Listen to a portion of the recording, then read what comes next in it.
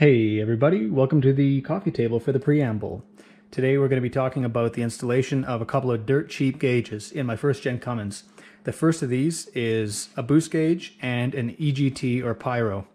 Uh, the boost gauge has actually been installed and working properly for a few months now. It really just consists of an $8 Amazon gauge, some PVC tubing, a couple of fittings, and a gauge housing that I 3D printed myself. But as you can see, there are plenty of inexpensive gauge housings online if you don't have the capabilities uh, of 3D printing like I do. Secondly is the EGT gauge. And now this is where things get a little bit more interesting. At the heart of it is this, I think, $6 uh, Type K thermocouple display that I picked up on eBay. Now, unfortunately, the thermocouple that it comes with looks like this, and it's not going to work for a few reasons. First, there are no sealing threads. These are only regular M6 threads. Second, the, the, the sheathing definitely does not have a high enough temperature rating.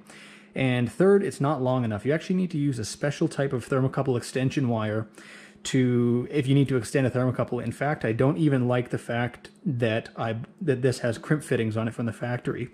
So I'm not going to be using the least expensive way to do this um, because I already have this high quality Omega thermocouple here um, I'll put a link though to a thermocouple that I'd recommend you use that already has the NPT threads built in.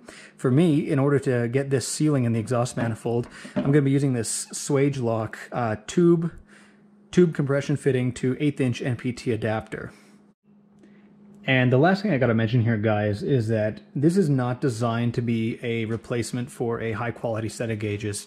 For me, I'm only modifying my truck uh, very mildly. I'm not really going to be pushing any boost pressures that are risking damaging the engine. I'm not really towing heavy enough to have to worry about EGTs at this point. So for me, this is just a relative indication, you know, before and after mods, for example. But if you need accurate indication, spend the money, get the high quality, proper set of gauges. All right, out to the Dodge. Okay, so let's talk about the boost gauge here real quick. Uh, we're under, underneath the hood of the Dodge. So right there we've got a eighth inch NPT to eighth inch uh, tube fitting and just the cheapest grade PVC hose you can find here. I'm sure it'll crack uh, and harden up later on, but for now it's all good. Going into the cab. Okay, so we're here in the cab now and you can see the little boost gauge housing that I 3D printed uh, along with the 30 psi gauge and then just uh, sheath the PVC tubing in a bit of Techflex to make it look nice. Other than that, it's honestly been working great. It doesn't uh, really flutter very much and uh, I've been really happy with it. Of course, I can't see the boost pressure at night, but I couldn't see it at night before either. So in my eyes, for an $8 Amazon gauge, it's still a big win. Alright, so we're out here under the hood of the Dodge. Um, the wiring for this EGT gauge is going to be super simple. It's really just a positive and negative. So I'm going to ground it to my little aluminum bus bar here. And uh, this is a battery fuse box. This is a switched fuse box.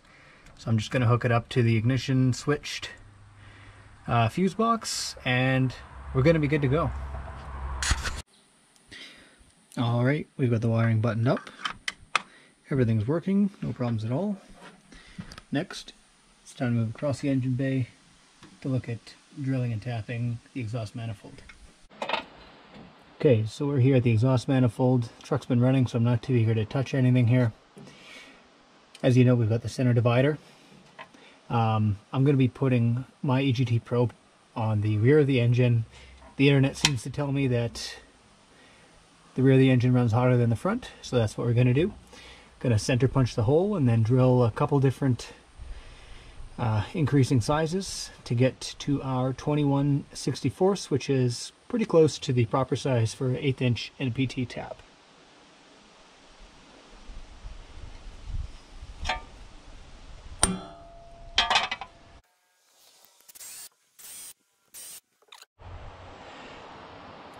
Okay, so I'm going to be using the grease method to try and catch all my drill chips.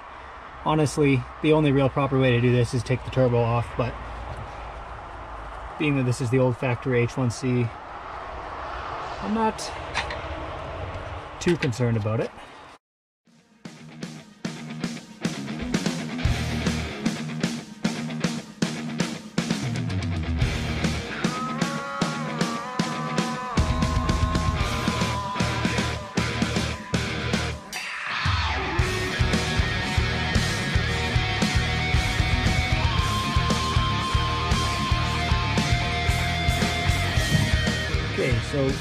Just made a bit of a mistake here. I came to the realization that my tap wrench set is not here at home with me. So as a result, what we've got rigged up here is our eighth inch NPT tap going into the bottom end quarter inch drive of a 12 millimeter socket, which is on the head, the head end, which is on the 3 8 socket, which just fits nice Please use the proper tools for the job. Don't be like me.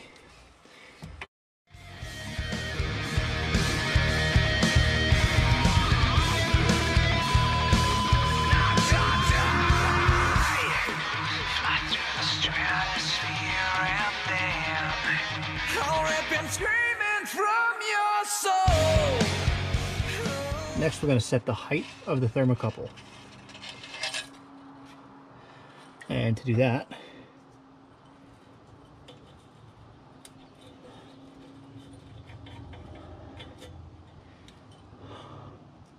huh. I actually ended up having to drill out the ID of the NPT side of that Swagelok fitting. Of course, this is rated for something like 5 or 10,000 PSI, which is why they needed that thickness, but I don't, so.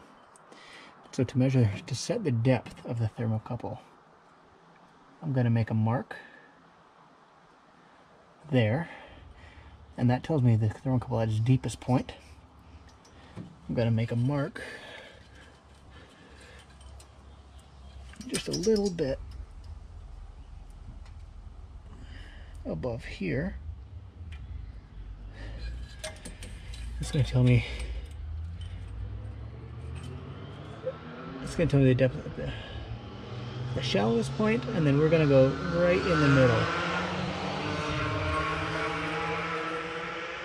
Just make a mark all the way.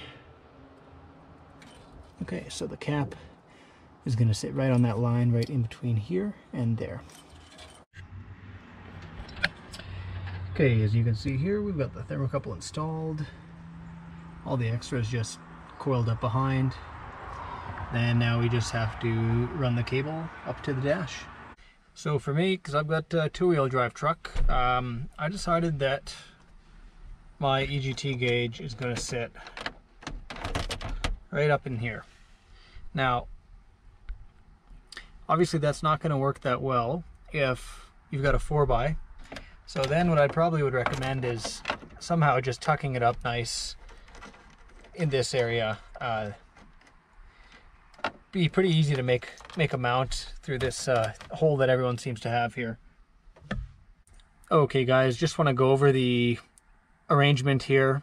Um, I've got this 3D printed panel, which is just to cover the space in between underneath the gauge in, in that whole area there. Uh, as you can see, we've got 700 max. Uh, that's because, unfortunately, Type K thermocouple protocol is by default in uh, degrees Celsius. So that's what we're going to have for now, much as it sucks, but it'll be all right. And again, I've just got this little toggle switch here wired up real simple, uh, just if in case I need to turn off this display for night driving. All right, so we got the thermocouple ran up to the dash here. You know, it looks all right. I shouldn't have made the 700 so big, and it doesn't quite fit as well as I would have liked. I think if I would have spent just a bit more time, I could have get it looking could have got it looking really nice. But here you're going to ride along for the first start.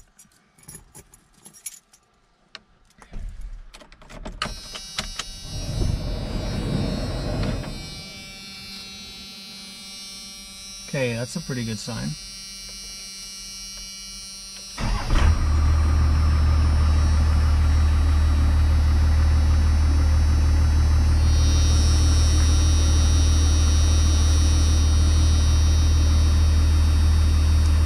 Camera definitely overexposes it compared to what it looks like in real life. But that's all right. You can see we got our tach working here. It's been running beautifully for a few months now. Boost gauge sitting right here.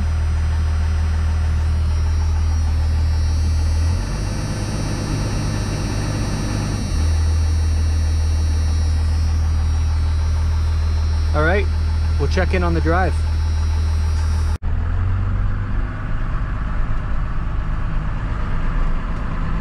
Okay, this road's a little windy, so we're not going to be able to get some sustained heat load in the engine, but should be okay.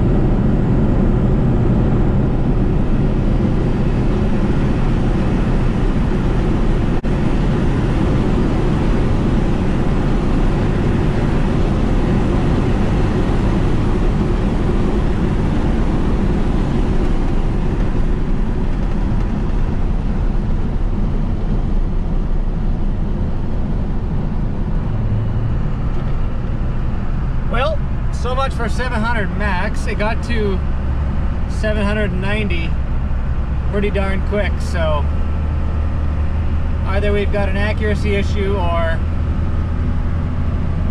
she's a bit of a hot runner. I've got the fuel pin, or sorry, fuel screw turned up two and a half turns. Uh, I've got a fuel pin in it, 3200 Guff spring. Uh, still have the timing spacer to install.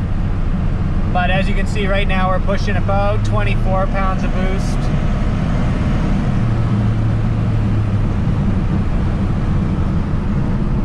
And she pops right up to 700 real quick. All right, guys, we're back in town. Hope you enjoyed the video. We got to see a little bit of the boost gauge. A little more on how we got to installing that EGT gauge. So, you know, it's a pretty low cost option. Probably not as good as, definitely not as good as some real gauges, but I'm pretty pleased so far and I think she's gonna do the trick for me.